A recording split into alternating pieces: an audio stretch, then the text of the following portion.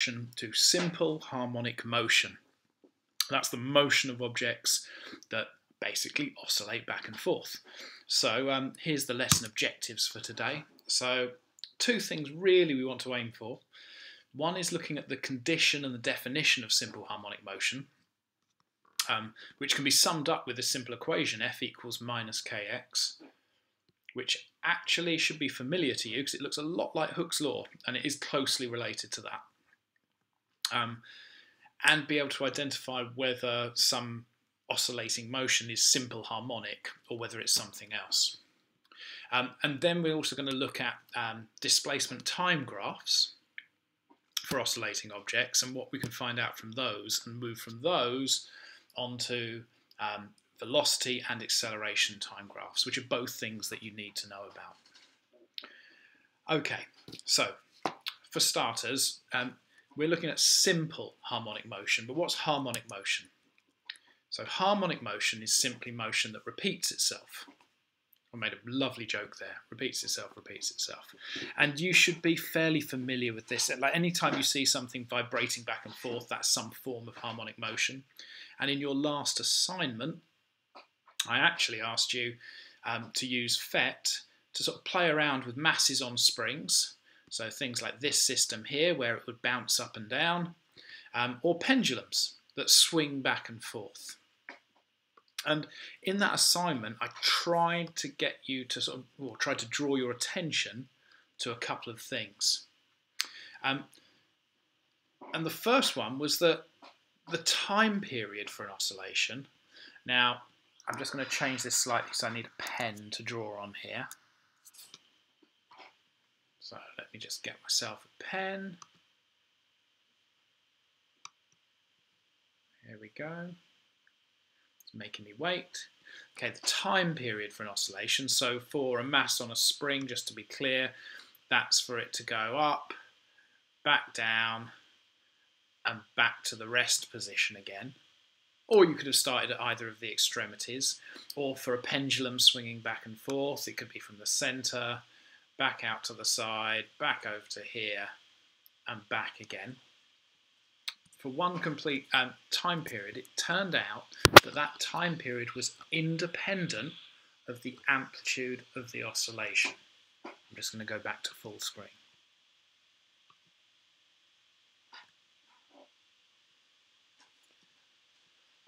Now that's really going to be uh, the main thing that we're focusing on when we're talking about simple harmonic motion, that this time period is independent of the amplitude. And also, in both of these systems, there was a restoring force that was trying to return the object or the moving part of the system back to its rest position, or sometimes we'll call that the equilibrium position. So, um, probably easiest to think about with this mass and a spring system that if I pull it down, there will be a force returning it back towards the center here. And if I allow it to move past that position and the spring gets compressed, the combination of the spring pushing back and gravity provides a restoring force back towards the center again. So these are the two sort of key points that for simple harmonic motion um, are always going to be true. So the period's going to be independent of the amplitude and there's always going to be a force back towards the centre. So I might pause this if I was you and make a note of that. Okay, so one of the things about this period being independent of the amplitude, um, that's why simple harmonic motion isn't always, you know, it's an ideal situation. So uh, take, for example, this, and I let it swing back and forth, maybe in front of the camera this time, let it swing back and forth, um, this motion's actually damped, and eventually um, it stops moving. So the time period isn't exactly independent of the amplitude, but it, it's a very good approximation of it. Okay. So, simple harmonic motion, the period's independent of the amplitude, there'll always be a force back towards the centre. period is independent of amplitude, force towards. Well, I've said centre on here. I'm just going to move this little picture. Uh, a restoring force towards the rest position might be a better way of phrasing that. Now this is an older version of this presentation that I used to sort of deliver and I've moved from this like I've done with some of my others to look at how actually would it appear in a mark scheme of an exam. So the bits that you actually need to take down, you actually need to learn are, right, one, that there's always a restoring force towards the central or rest position. And then the bit in the box well, that is our definition of simple harmonic motion. And that is that the force is always proportional to the displacement and always towards the rest position. It'll be marked correct if you call it the equilibrium position, but rest position is easier to write. Now, if the force is proportional to the displacement, and we already know from Newton's second law that force is proportional to acceleration. Um, an equally true definition of simple harmonic motion would be that acceleration is proportional to displacement and towards the rest position. Now what you'll find is that you very rarely get an exam question that doesn't have this on it. Um, if it's about simple harmonic motion, obviously. So um, you need to learn this, and it, you'll always get two marks. You'll get one mark for this force proportional bit, one mark, and another mark towards the rest position. Now, um, we normally sum that sentence up with this expression, F equals minus kx. Uh, really what we're saying that F is proportional to the displacement and we've introduced some constant here. Now the interesting bit is this minus sign and the minus sign is basically indicating that it's back towards the rest position. So you have to learn that bit as well. So, given that, you have to ask yourself whether certain things are simple harmonic motion or not. So how about this first example? Um, I'm going to apologise for the quality of this drawing. Um, that is me jumping up and down on a trampoline. Is that simple harmonic motion? Pause for a second and have a think.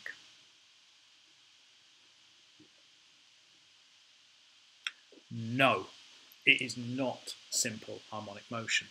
And it's not simple harmonic motion because, well, as this person jumps up and down, they are returning to its rest position. So they start at the ground, they jump up, and then there's a force restoring them back down. But the entire time that they're in the air, the force downwards is equal to their weight. The force trying to return them to the ground doesn't get bigger the further they are away from the ground. In simple harmonic motion, the further the person was from the rest position, the greater the force bringing them back to the ground. And that's not what happens with gravity. So a person jumping up and down is harmonic motion. It's repeating itself, but it's not simple harmonic motion. Now, this is worth making a note of because they love trying to. Well, you'll see this. I'll give you questions later on, but they'll say, "Is this situation simple harmonic motion? Is this sim, uh, simple harmonic motion?" Another very common one would be, well, that's a terrible drawing. I'm trying to draw with my finger on the mouse pad. Uh, would be a ball bouncing. It bounces up and down as it hits the ground. Is it simple harmonic motion? Absolutely not, because the further the ball is from the rest position, that doesn't affect the size of the restoring force. Whereas if it was, I don't know, well, let's just go with something on a spring. There you go, a ball on a spring. And this might be making you think about Hooke's law, the more I extend the spring, the greater the force returning it back to the rest position. And that's why a mass on a spring oscillating up and down is simple harmonic motion. So definitely get that down in your notes um, about how to recognize it. Look for a force that changes the further you are away from the, the equilibrium or rest. Okay, so the next thing is just looking at this equation just one more time. Okay, so what we say in this equation is that um, f equals minus kx, but the, the k is just some constant. Um, and it, it really depends on the oscillating system. So if you've got um, a pendulum swinging back and forth, um, that constant's going to be connected to the length of the pendulum, uh, and it's also going to be connected to gravity as well, which is why you can use pendulums um, to work out a value for g. If you've got a mass on a spring, though, the k is the same k that it is in Hooke's law, the spring constant, um, which is kind of convenient and also makes this very, very simple. Now, I'm sure you've taken this down, um, but I've just jotted something down over the side over here that you might want to think about. Um, it's that force is proportional to minus x and also A is proportional to minus x. And that is our conditions for SHM. So um, we're going we're gonna move on now to a, a very common exam question. And they say, okay, you've got something like this, oscillating back and forth can you plot a graph? Can you plot a graph of the size of the acceleration against how far it is um, depressed, that's the wrong word, displaced from its rest position. So if we start here, plot a graph showing the size of the acceleration versus the rest uh, versus um, its displacement. Um, and that give you some axes like this. So there's A and X.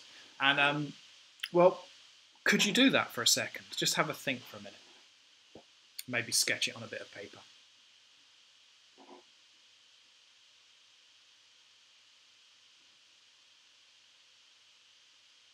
Okay, so um, it's actually really easy.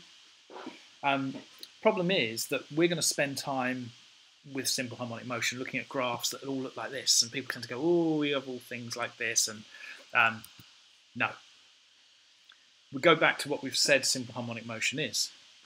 We've said f is proportional to minus x, where x is the displacement, or we've said a is proportional to minus x.